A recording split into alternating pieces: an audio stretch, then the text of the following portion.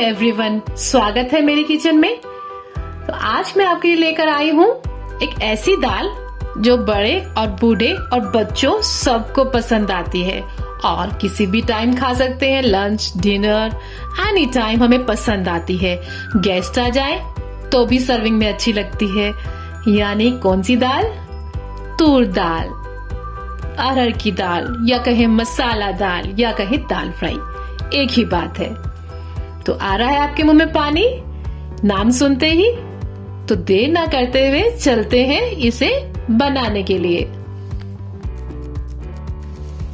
तूर दाल यानी अरहर की दाल बनाने के लिए मैंने एक बाउल दाल का लिया है। ये देखिए, ये दाल जो है, बड़े साइज़ की है और बिना पॉलिश की है। दाल बनाने के लिए आप अगर अच्छी क्वालिटी की दाल लेते हैं तो आपकी दाल स्वादिष्ट बनेगी। एक टमाटर लिया है मीडियम साइज़ का। इसे मैंने बारीक काट लिया है। और मैंने ली हुई है तीन से चार कलिए लहसुन की। इसे भी मैंने बारीक काट लिया है। और दो से तीन लेंगे हम लाल मिर्च साबुत वाली। और जीरा लिया है आधी चम्मच, एक लौंग, एक मोटी इलायची, एक मीडियम साइज़ का प्याज है। इसे भी मैंने छोटा छोटा काट लिया है। आधा चम्मच काली वाली सरसों है। दाल हमारी अच्छी बने इसके लिए दाल बनाने से एक घंटा पहले हम उसको पानी में भिगोकर छोड़ देंगे। ये देखिए, मैंने दाल को पहले से पानी में भिगोकर रखा हुआ था और एक घंटा हो चुका है और ये काफ़ी फूल भी गई है, बड़े साइज़ की हो गई है। अब इसे गलने में भी आसानी हो जाएगी और ये बहुत अच्छी बनेगी। दाल को मैंने अच्छे से दो चार बार साफ़ पानी से धो भी लिया है। तो बस, अब हम इसे कुकर में डालकर विसल लगवा लेंगे। भीगी हुई दाल को मैं कुकर में शिफ्ट कर रही हूँ।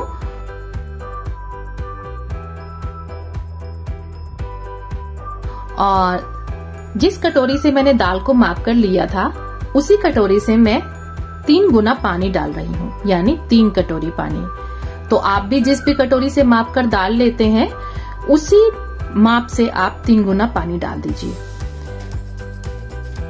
साथ ही हम डालेंगे नमक और हल्दी। नमक आप अपने स्वाद के अनुसार डाल सकते हैं। मैं इसमें आधी चम्मच नमक डाल रही हूँ और आधी चम्मच हल्दी डाल रही हूँ। कुकर को बंद कर देंगे और लगभग तीन से चार विसिल हम इसको लगवा लेंगे।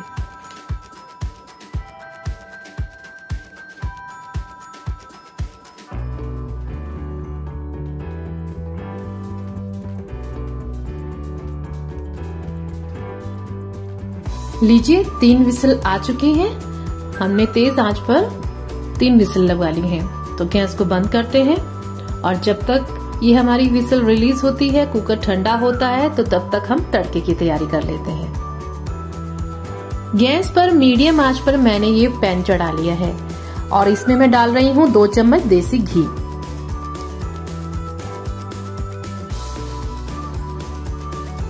घी गरम हो चुका है तो अब मैं इसमें डाल रही हूँ लौंग मोटी इलायची, काली सरसों, जीरा और तीन लाल मिर्च। इन्हें बस हमें हल्का सा भून लेना है। जैसे ही सरसों चटकेगी तो हम इसमें प्याज ऐड कर देंगे।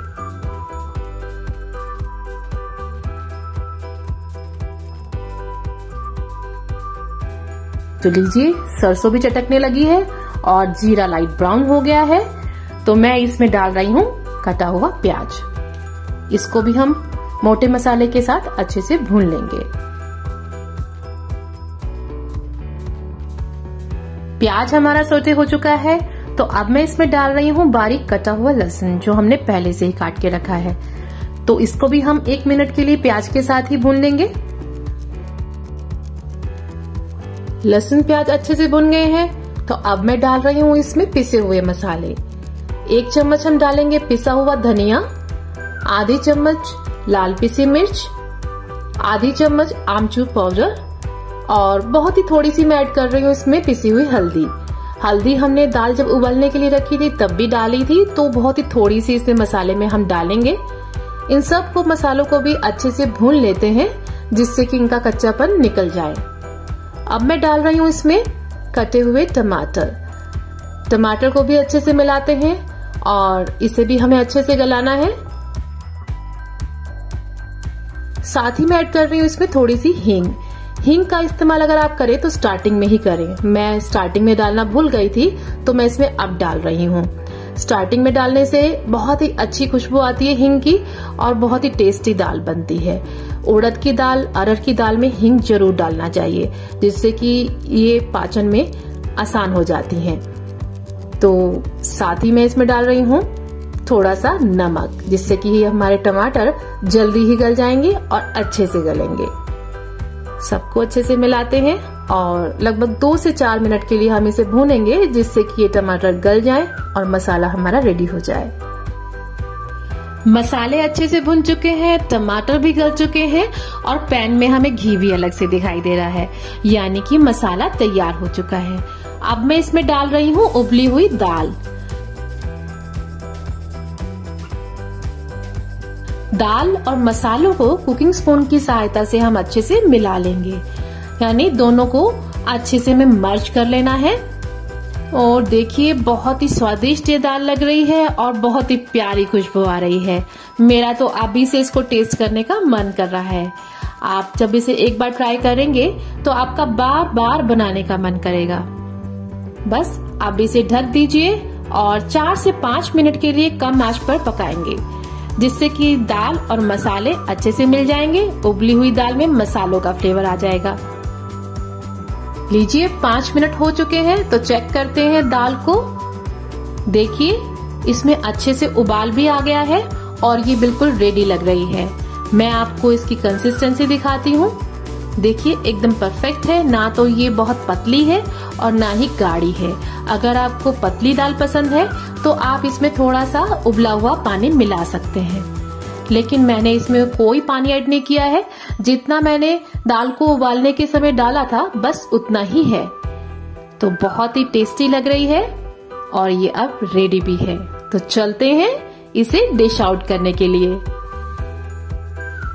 लीजिए, दाल अपने सर्विंग बाउल में आ चुकी है और बहुत ही डिलीशियस लग रही है।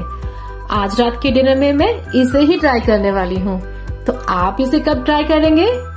जल्दी ही कीजिए और अपने कमेंट्स मेरे साथ शेयर कीजिए। तो अगर आपको मेरी वीडियो अच्छी लगी हो तो please like share and subscribe my channel thank you फिर मिलते हैं।